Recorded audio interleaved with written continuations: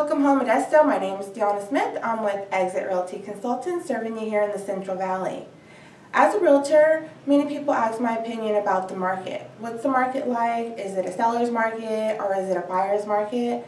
So today I'd like to share some statistics with you. And these numbers are based on the end of last month, which was April 2017, where we had 250 homes that are traditional single-family homes in Modesto that sold with an average price of $289,000. So the approximate price per square foot is $172 and these homes sold in an average cumulative average days on market of 36. So what does that mean to you? If you are thinking about selling, then that actually shows that this is in fact a seller's market and it's actually increased since the previous month by 16.3%.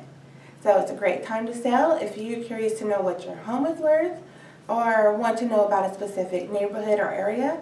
Feel free to give me a call. My number is 209-496-7776. You can always visit my website as well, which is welcomehomemodesto.com. Um, thank you so much for joining me today. I hope to see you next week and share some more selling and mar marketing and home buying tips for you. Don't forget, if you want it sold tomorrow, call Deonna today.